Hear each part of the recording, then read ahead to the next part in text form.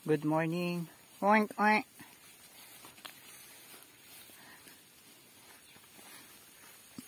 Hmm.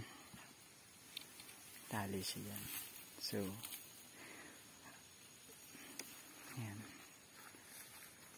Medyo mataba na yung kalabaw na nabili nung binabantayan namin yan, nung mga nakaraang ano, sobrang payat niyan. At least ngayon may siya. Tsaka yung anak medyo mabilis na lumaki.